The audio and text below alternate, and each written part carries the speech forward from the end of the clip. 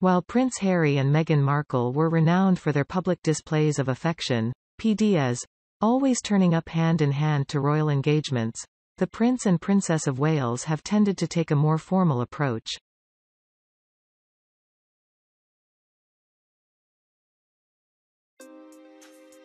The couple mostly follow the example of Queen Elizabeth who did not hold hands with her husband Prince Philip in public.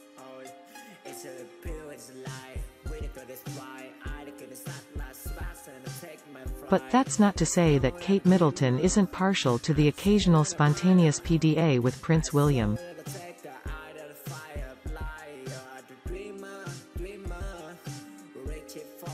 Kate has been spotted placing a reassuring hand on her husband's back, putting her hand on his knee, and even giving him a cheeky tap on the behind, much to the delight of the couple's fans.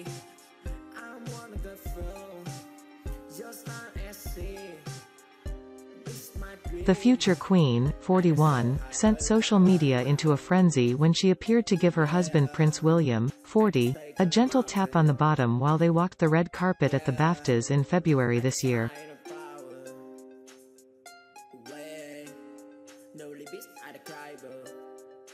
And one of the most touching photos of the couple shows them embracing at the velodrome at London's Olympic Park in 2012 as cyclist Sir Chris Hoy and his teammates raced to a gold medal.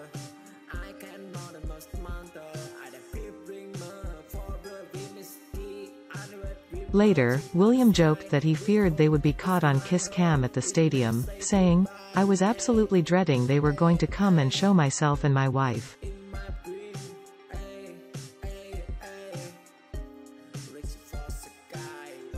That would have been very embarrassing. Meanwhile, Kate is known for her subtle but significant affectionate gestures that show support for her husband during public engagements, whether it's a gentle touch of the hand or a reassuring pat on the back.